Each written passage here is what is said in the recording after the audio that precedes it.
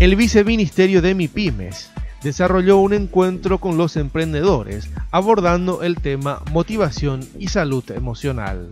Específicamente abordar todo lo que es las teorías de motivación, explicar a todos los, que vinieron, ¿verdad? De eh, qué es lo que realmente motiva al colaborador o a los colaboradores de la empresa, ¿verdad? Eh, preguntar eh, primeramente, ¿verdad? Qué es lo que ellos piensan y todo lo demás.